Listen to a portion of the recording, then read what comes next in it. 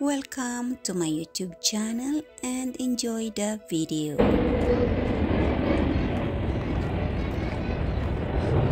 But they are all white. Turok. Turok ka dali. Turok ikaw? Magturok ka dyan dali. Ayun, reply.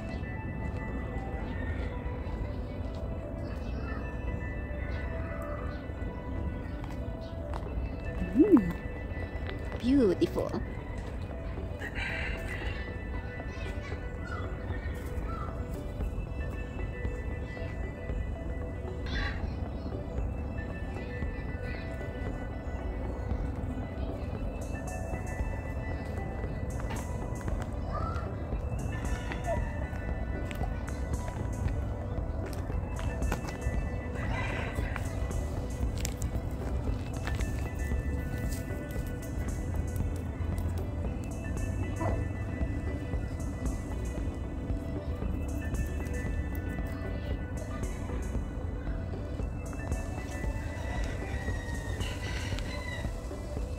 So beautiful you are.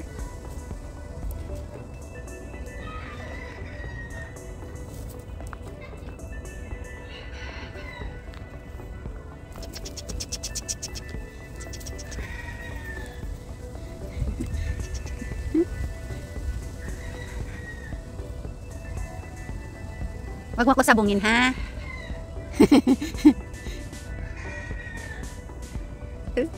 Sasabungin ako. Ako sabungin. Oh my God, ang ganda. Wow.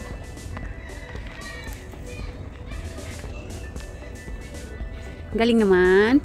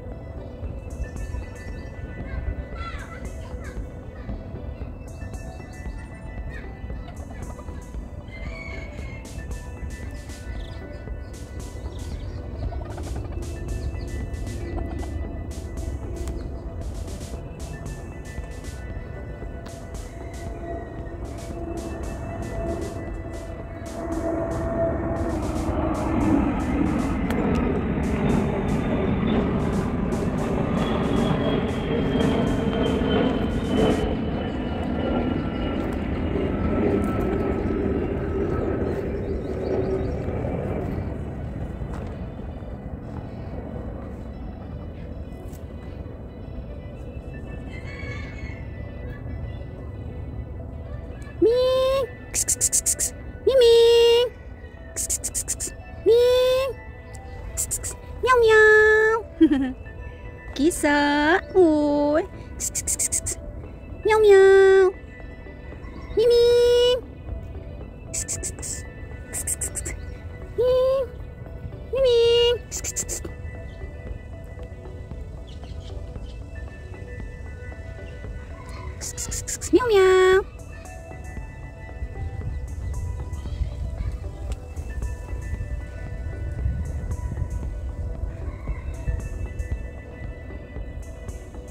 Baho?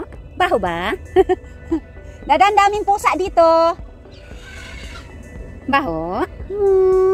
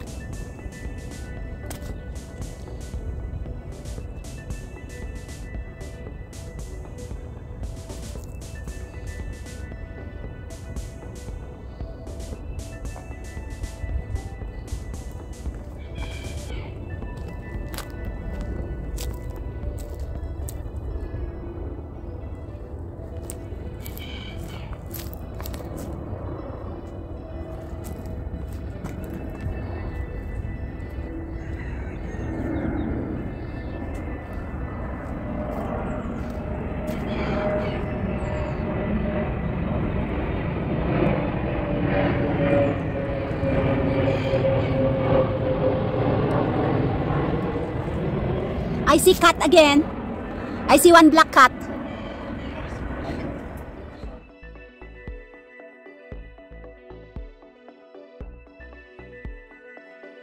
Look how big. Ang ganda talaga. Wow. Until there.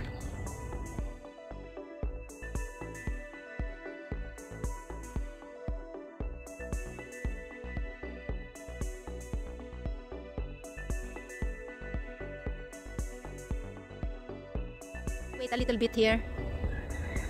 Oh my god, the chicken! Yeah.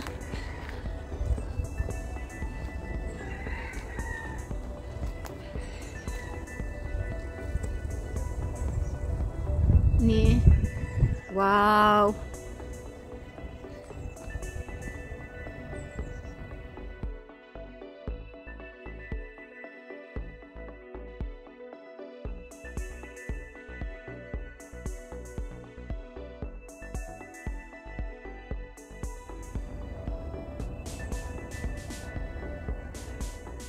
Kisa.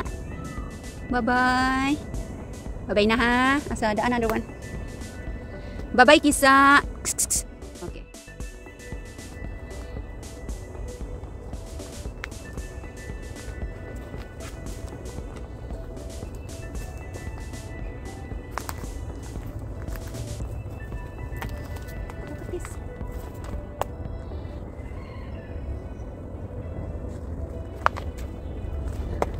Someone putting the silver here the the I know the chicken is there hi it's loving me and following me the chicken ang laki dito wow. someone put the paint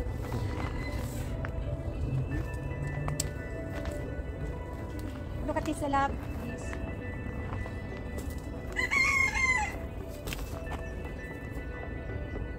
ang ganda amoy.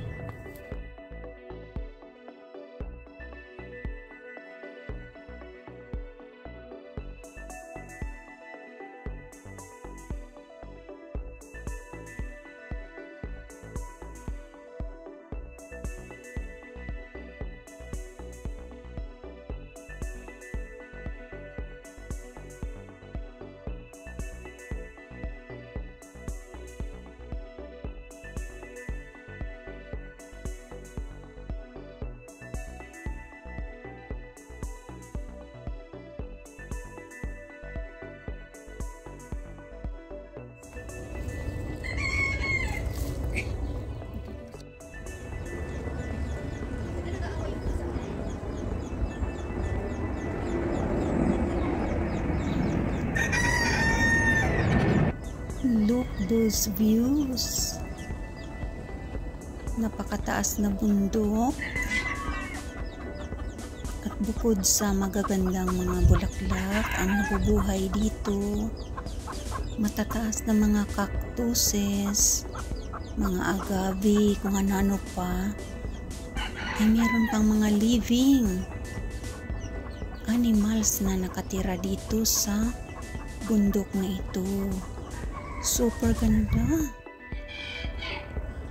At itong puno na ito na napakaraming sanga. Ang ganda. Sa movie ko lang ito nakita. Pero ngayon, ayan, nakita na ng aking mga mata ng buong buo at tunay na tunay na puno. Para siyang pangdan na napakaraming sanga. Amazing tree, di ba? Malayo lang lakarin itong bundok na ito. Pero sulit naman kasi ang daming peacock na makikita dito. Tsaka mga puting mga manok. Yun o, naglalakad sila. Free and wild lang sila nakatira dito. Pati mga pusa. Pero mayroong pumupunta at nagpapakain sa kanila. Ayan. Nandiyan na yung nagpapakain. And nakakagulat kasi pagkatapos nilang makakuha ng piece of food, lumalayo na sila. Umaalis na sila at kinakain nila yung food ng peacefully sa isang lugar. Ayan, may dala-dala na yan silang tig isang piraso. Clever din ang mga manok na ito at mga ibon kasi pag nakakuha na sila ng isang piraso, tatakbo na sila para doon nila kakainin. Siyempre, wala silang kaagaw. At ito namang peacock na ito, female. Kasi hindi ko naman akalain na marami palang mga living wild animals dito sa bundok na ito. Kaya hindi ako nagdala ng kahit anong makakain. Akala ko lang naman ay mga ano, mga punong kahoy, mga bulaklak, at kung ano-ano ang aking makikita sa bundok na ito na para siyang last frontier nature dito sa gitnang kabundukan ng Portugal na hindi talaga nila ginawang mga kabahayan kundi tinira nila ang nature na ito na bundok para meron silang ganito kagandang park. Mga wild ang lalaki ng mga ibon na ito parang sobrang laking hindi naman siguro ito ano iba-iba kasing klase ng mga turkey. So ito ay isang klase na naman ng turkey na naiiba din sa turkey ng Finland. Kasi ang turkey na pumupunta sa Finland hindi ganyan ang buntot at saka hindi ganyan kalaki mas medyo maliliit lumalaban nito eh ayaw ko nga lumapit zinom ko lang kasi habang palapit ako, minawarningan kaagad ako ng isang super laki. Lumalakit, lumalapit siya sa akin na sumusugod siya. Sabi siguro, op, ops, mag-keep distance ka sa grupo ko. Kasi pwede kaming umataki ang lalaki at saka mga kalapati free and wild na nakatira sa bundok na ito at ang mga tao, may iilan ako nakita na nagja-jogging at mayroong iba din na dala nila yung kanilang mga aso. Tumatakbo sila dito babataas. Napakalapad ng nature bundok park na ito. Hindi na kayang libutin, sumaglit lang naman kasi syempre marami pang mga places dito sa Portugal na lilibutan kami at syempre papasyalan habang nag-holiday. Ayan. At dito naman ay mga ducks. Itong mga ducks na ito, oh, natutulog ka ba dyan? Tulog na tulog. Meron ito sa Finland, yung ganito. Ayan. At dito nagsisisiw din pala sila. Yan ang dami. Lumalangoy na nga eh. Cute-cute naman nila. Saka hindi sila ano mailap. sanay na sanay sila na walang gumagalaw din sa kanila. Pinapanood lang sila kaya yan, patulog-tulog lang. Dito naman ay ang wild na banana. Naiiba ang bulaklak, no? Ayan.